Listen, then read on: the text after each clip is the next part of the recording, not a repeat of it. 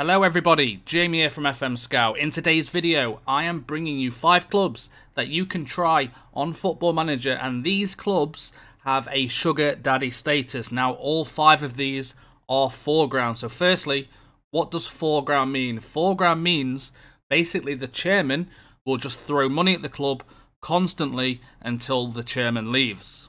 Now, it's getting to that time of the year where you are looking for new challenges, you are looking for new saves, and I haven't obviously gone for the obvious. Of course, you have teams like Manchester City and teams like that. I've gone I've ignored all of them type of teams and we've gone for a few clubs in nations that I think you guys will enjoy. Before we get into team number 1, can I ask you guys a massive favor? Please hit that red subscribe button below the video. It would make my day, and honestly, we're getting so, so close to 100,000.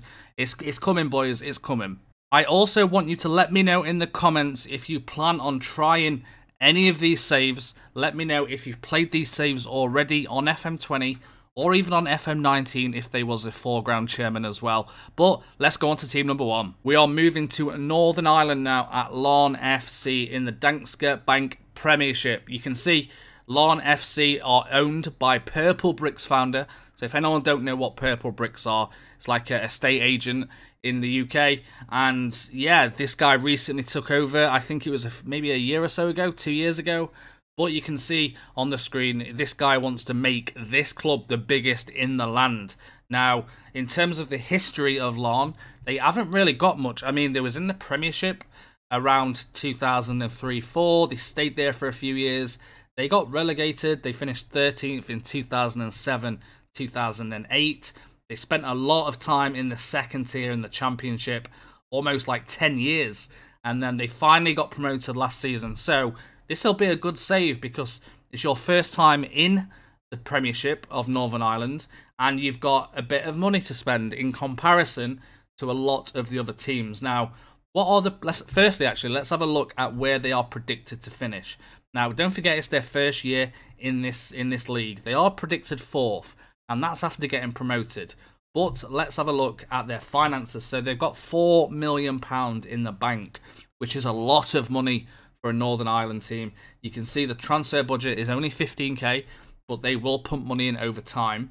You can see the wage budget is 20.4k, which actually is is is really good for a Northern Ireland team. In terms of, I mean, if you want to look at any kind of comparisons, say if we look at the team that's kind of predicted Linfield, who who's won them kind of the most Premier League.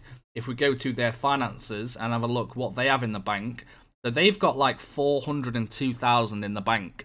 In comparison to 4 million, that's a big difference. You know, their wage budget is only 13.5k you could probably win the league in the first season. So, what are the cons of managing in Northern Ireland? Well, the cons, I'm sure you guys are aware, is the rep. The rep falls around the same as Gibraltar. So, you've got a big, big task on your hand in terms of Europe, Europa League, Champions League.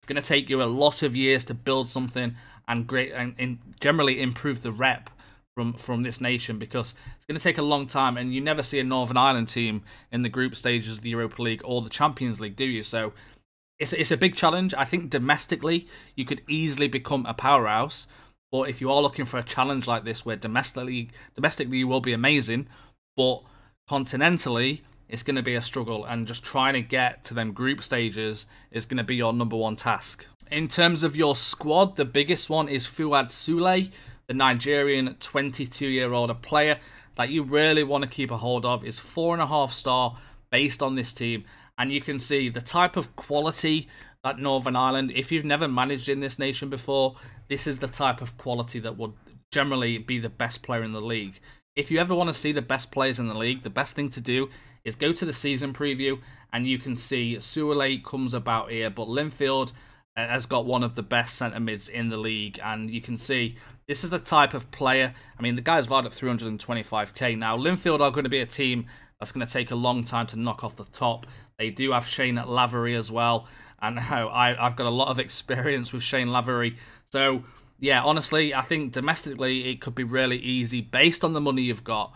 But can you build something for that that Champions League? You know, FC Famalicão in Portugal, Liga NOS, a club, a nation that I've got a lot of experience with. I find Portuguese saves to be one of my, honestly, my favourite saves ever. And I would recommend that if you haven't done one in Portugal, just to give it a go. There's barely any rules. You've got a lot of freedom in terms of transfers. This club is owned by Jorge Mendes, the billionaire owner, and you can see, let's have a look at their history. So, last season they finished second in the second tier. They did get promoted, so they, they are spending their first time in Liga NOS this year. And you can see they've had like a really weird history. Now, they started in like the fourth tier, they went all the way up to the third tier. They then got relegated two tiers, back up two tiers. Really strange football club, but you can see since the owner took over, they've, they've kind of had that that all the way to the top. They spent three years in the second league, and then yeah, they won it. Well, they finished second last year. So in terms of the finances for this club, they have got four million in the bank. They have a 1.2 million transfer budget, and they have a wage budget of 178,000 pounds. So really not that bad you guys just have to bear in mind that a, a foreground chairman generally pumps money in through the season. So just because they haven't got a lot of money now doesn't mean that they won't get a lot of money in the future. Your two star players are Ruben Lameiras, the Portuguese 24 year old, and Gustavo, who is a 19 year old with a lot of potential. You also have at the moment at the club um, Perez, who is one of the best wonder kids on the game, the centre back, but sadly he is only on loan and you can see he's on loan from Atletico Madrid. So there's not really any chance of you getting him unless you spend a lot of money. But you've got a lot. Of, you've got a young team. If you look at the age of the team, you're yeah, like I mean you've got obviously the 36 year old, but generally it's a pretty young team with a lot of potential. And you can see if we go to the under 19s and under 23s, you've got a few players in the under 23s. You've got a really big team to be honest, and you can definitely do something with this club. But again, Portugal football is really, really fun to manage in. Now, sticking in Portugal, if you fancy, if you maybe don't fancy the top tier of Portugal straight away, and you want to build from the bottom, Lusitania Lourosa, a club in the third tier of Portugal, also have a foreground chairman. Now, again, another club that has been kind of yo-yoing up and down the leagues, as you can see in terms of this graph. But you can see they got promoted. They actually finished second last year, but they didn't get promoted. Hugo Mendes, a well known Portuguese businessman, took over the club. And if you go to their staff, you could probably see that he is in charge at the top. Hugo Mendes, though very excited about him. The guy is wanting to pump a lot of money and develop this club into one of the best clubs in Portugal. And the guy essentially needs your help. So let's have a look at their, their team, though in terms of eh, actually let's look where they're predicted to finish. If we go to the season preview you can see they're predicted fourth. And in terms of their squad you've got a lot of maneuvering to do. I mean you've got some good players. You've got zakper tavares enrique. You are i think professional as well right? I think. Let's have a look. You are professional in the third tier. So you've got a lot of movement in terms of the finances though 4 million in the bank a 1.2 million transfer budget and 17k wages. And that is in the third tier of, of Portugal. You should really do damage in the first and second year of this save. If you bring in the right players, get some loans in, try not to spend too much straight away. And honestly, the guy will just give you some money here and there as you get promoted through the leagues. But yeah, you can see the team does need some work. You've got a lot of Portuguese players, which you need in the third tier. So it's going to be a challenge. You can't necessarily spend all that money straight away, but there's definitely Portuguese players out there that you can sign, but that is Lusitania. Spanish saves never really feature on my videos because I don't really generally find them that interesting. I'm not a fan of the rules, but there's a club here, Almeria, Uh, owned by a Saudi. He is the new owner. I, am not sure when it when it happened, but you can see he's bought he bought the shareholding package from Alfonso Garcia, president since 2003. The operation is done in the absence of a document that has to come from the higher sports council. But he is the new owner of Almeria and he should be on the game. Let's have a quick check. We go to staff. You can see the, the Saudi is there as well with a managing director from Egypt. Now, this club do have a foreground. I can just show you that. If we go to the club details, go to finances, they have a front end. And let's have a look what they've got. So they do start in the second league.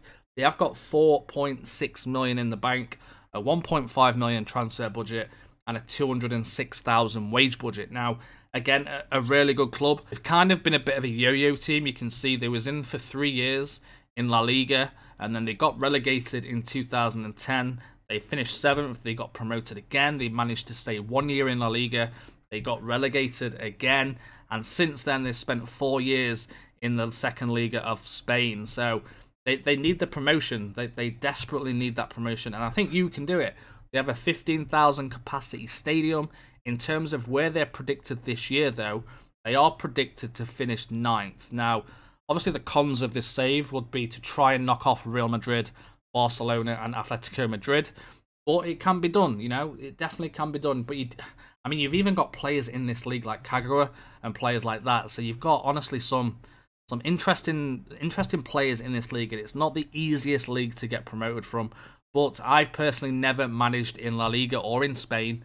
So if you guys have, let me know how it is, because I'm thinking about actually starting this. Uh, in terms of the players they have, though, they have, you know, Valentin Vada, Nunez. You've got a lot of players on loan. Sergio Aguza is probably your best player, the central midfielder, advanced playmaker. He's got 16 free kicks, so that, that could come in handy. But no, uh, generally a, a, very good save to do, and let me know in the comments if you plan on trying this. Now, maybe one of the most interesting teams on this list, FC Lausanne in Switzerland, the second tier, not even in the top tier of Switzerland. And again, another bit of a yo-yo club. I mean, they was in the top tier for a few years. They then got relegated, got relegated again, and it looks like they maybe got demoted to the fourth tier. They did get two promotions in a row. They kind of stuck in the championship for a while. They did get the promotion back up to the main tier. They spent two years there, got relegated again, stayed in the second tier, got promoted. They went, stayed in the first tier for another year. They got relegated, and last season they finished third. Now you can see this club is owned by Jim Ratcliffe, who is the founder of Chemicals and fracking giant Ineos. But again, they have got a foreground, so this guy is going to be pumping in a lot of money to the club. And being in Switzerland, very hard to compete in the Europa League and in the Champions League. But if we look at there where they're predicted to finish, you can see they are predicted to finish top of the league. Let's have a look at the finances. 4.2 million in the bank, 156,000 transfer budget, and an 88.9k wage budget. So you've got a lot of things to work on. And if we go to top league, you can kind of see the. Obviously, you guys know the the teams like this, but in terms of season preview, you've got Young Boys, Basel, Sion, Zurich, all to compete with, try and win that title and get back up to the main league. But in terms of your players that you have, your biggest player really is Turkeš, who is a Bosnian striker, very good player, still quite young. Honestly, you should really demolish the first season so quickly and again, it's just trying to build for that next season. But it's a really interesting save, something that I want to do. Again, I've never really managed in Switzerland, so I would honestly consider giving this a go and trying to raise the rep of the nation and see what happens. But yeah, that's been the end of the video. I hope you guys have enjoyed this. Please let me know in the comments if you plan on taking over any of these, and I'll see you all next time. Goodbye, everybody.